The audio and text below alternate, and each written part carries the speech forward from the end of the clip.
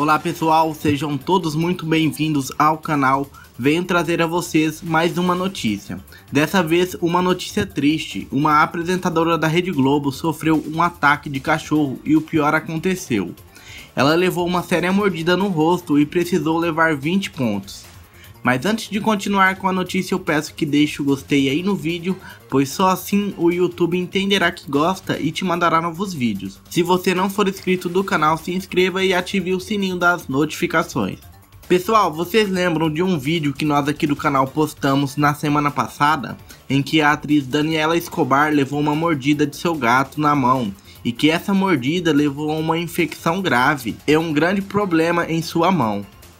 Desta vez, quem está sofrendo com um problema semelhante trata-se da apresentadora do programa Bem-Estar, a Michelle Loreto, que levou uma mordida de seu cãozinho bem no rosto, perto da boca, e levou incríveis 20 pontos no local.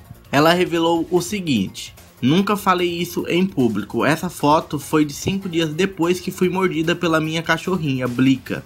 Levei 20 pontos no rosto. Ela estava dormindo, eu fui dar um beijinho e ela se assustou. Eu tive a frieza de lavar o rosto e a mão. Levei três pontos no dedo. Fiquei lavando abundantemente com água e sabão e fui procurar ajuda médica. E tudo isso, pessoal, ela revelou hoje durante o programa Encontro com Fátima Bernardes.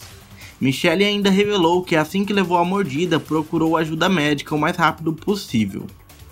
Os médicos me disseram: que bom que você lavou, porque isso protegeu. Se pegasse alguma infecção, essa marca poderia ter ficado muito feia.